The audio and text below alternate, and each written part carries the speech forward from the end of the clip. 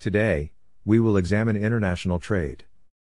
International trade has enormous advantages, among which are International trade generates the exchange of goods and services among the nations of the world to mutual advantages of all participating countries.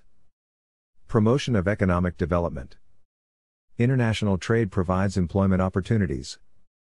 It enhances international specialization. It leads to increase in world output. International trade promotes friendship among nations of the world. International trade increases the standard of living. It fosters equitable distribution of national resources. Countries are able to acquire skills and ideas. Law of comparative cost advantage.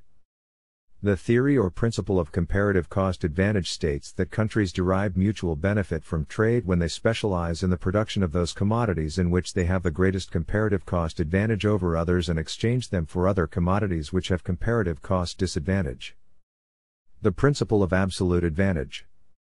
Adam Smith's principle of absolute advantage suggests that a country should specialize in producing goods or services in which it excels compared to others.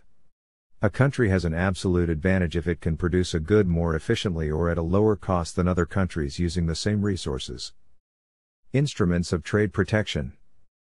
Import duties or tariffs. This is a tax imposed on imported goods to reduce the amount of trade.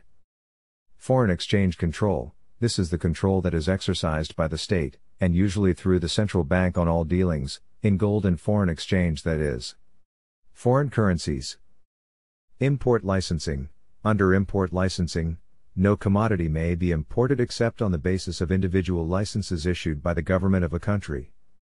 Reasons for trade protection Maintenance of full employment at home, Protection of infant industries, Development of import substitutes at home. To correct or remove any imbalance in balance of payment account. To raise revenue, for example. Tax. Prevention of dumping. Prevention of harmful and non essential goods. Government may protect trade for strategic reasons, for example, in retaliation against a foreign state. Thanks for watching. See you in the next video.